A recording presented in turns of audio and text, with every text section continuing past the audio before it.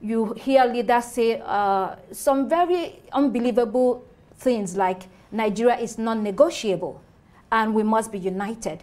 United on what exactly? If your country is non-negotiable, it should be negotiable actually.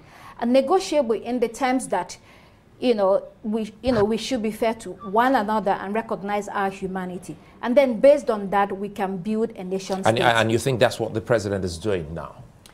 I don't know if that's what he's doing. I don't know what is on his mind. But the action he's taking, reaching out to different people, it is expected he should be doing much more than that, not only within his political party, but with other political parties as well.